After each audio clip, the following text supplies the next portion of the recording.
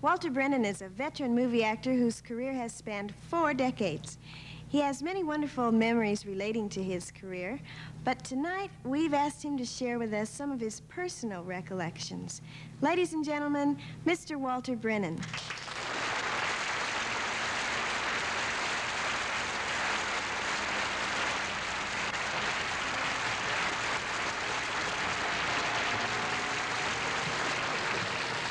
You know, every now and again I sort of like to come up here in the attic and sort of poke around. Most of the things that that found their way up here, they just ain't of much earthly value. But for one reason or another, I, I just never had the heart to throw them away. oh, hiya, Martha. You still got a wonderful shape.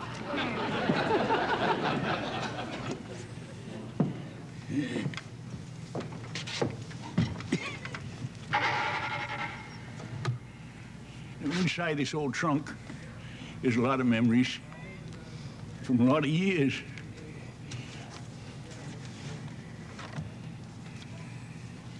You know, it took three years and a lot of gum wrappers to get a ball of tinfoil this big. and I guess that's better than sitting around and wasting your time like some young folks do today. hey, look at this. This is a, a hula dancer painted on a necktie. you know, I got that in Hawaii. Boy, that was some vacation. Two weeks in a tie store.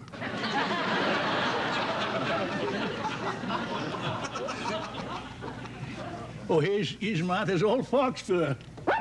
Oh, Shep. Why, we thought you wandered off in the winter of 29. Come on, boy, roll over. Atta boy, roll over. That's it, boy. You know, I taught him how to play dead, and he's never forgotten that trick. Oh. Here's your menu. This is from a restaurant in Atlantic City. Here's where Martha and I had a romantic dinner. Pierre's House of Clams.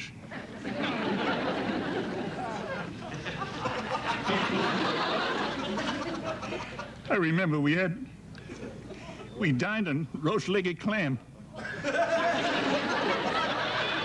clam salad and clam ice cream. You know, it was the first time ice cream ever squirted me.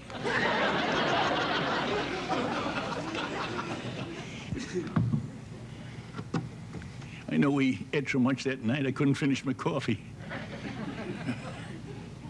I think I'll do it now.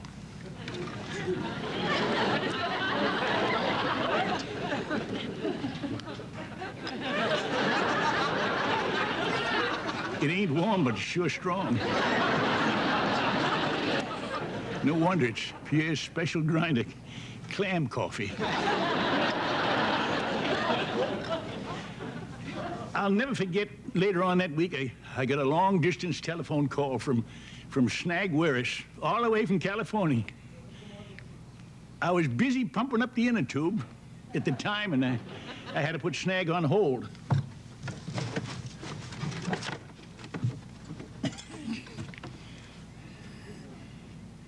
Hello, Snag? My golly, he's still holding on. How are you, Snag? What? Feeling poorly, huh? Well, listen, Snag, I got... Listen, Snag! I can't talk now. I'm busy reminiscing. Say, do you mind if I put you on hold? Well, Snag always was a patient man. well, now, what's this? Well, it's an old player piano roll. I wonder if it's...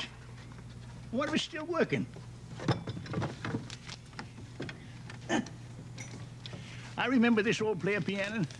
I wondered what happened to the to the young fella that, that used to come over Saturday nights and play. He was a sweet little guy, had a great big nose.